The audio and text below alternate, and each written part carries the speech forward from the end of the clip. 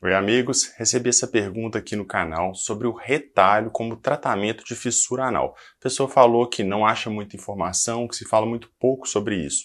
Vamos ver se o retalho é uma opção no tratamento e por que, que se fala pouco dele no tratamento da fissura anal. Vamos lá? Olá, eu me chamo Marcelo Werneck, se é a sua primeira vez aqui, lembre de se inscrever no canal, gente, curte o vídeo também, não custa nada e vocês me ajudam a fazer mais vídeos para vocês. Então vamos lá, né? A fissura anal, para quem não sabe, é uma ferida na região do ânus.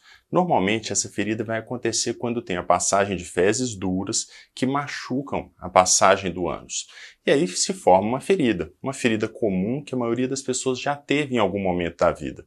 Só que algumas pessoas, com o tempo, aquela região vai ferindo novamente com a passagem das fezes e aquele machucado passa a não cicatrizar bem mais e começa a desenvolver algumas alterações locais ali. O tecido vai ficando mais endurecido, se forma uma prega de pele ali, pode formar também uma papila na parte interna do ânus e também vai se desenvolver aquela hipertonia, que é quando o músculo do ânus vai ficando tenso, vai ficando travado travado por causa da própria irritação causada pela fissura.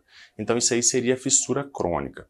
A fissura crônica, ela muitas vezes vai ter indicação de operar. Normalmente a gente vai tentar a melhora dos hábitos de vida para o intestino funcionar bem, parar de ferir aquela região, fazer atividade física, também ajuda na cicatrização, o uso de algumas pomadas e também pode ser usado até o botox, mas realmente em alguns casos a gente vai progredir para a cirurgia.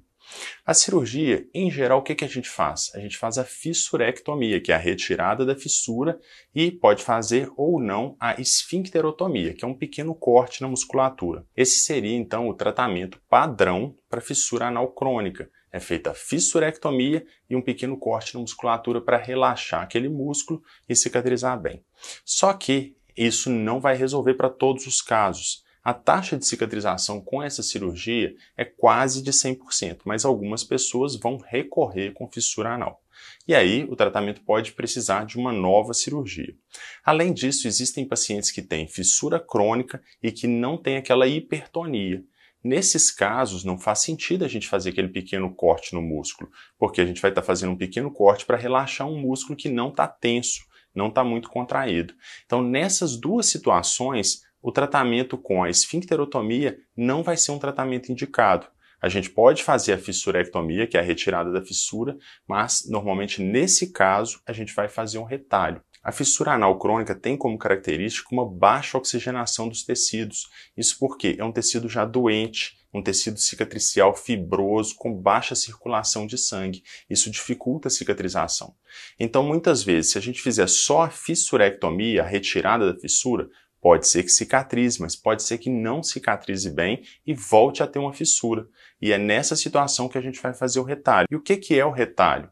Retalho é o seguinte: imagine que a gente tem uma ferida em alguma região do corpo e a gente precisa de um tecido mais bem vascularizado, que tem uma circulação de sangue, uma oxigenação melhor do que aquele local ali. A gente vai levar um tecido bem oxigenado, com uma circulação de sangue boa, para que aquela região cicatrize de vez. Então a gente vai tirar a fissura e a gente vai fazer uma incisão lateral, aquilo ali para levar um tecido ali.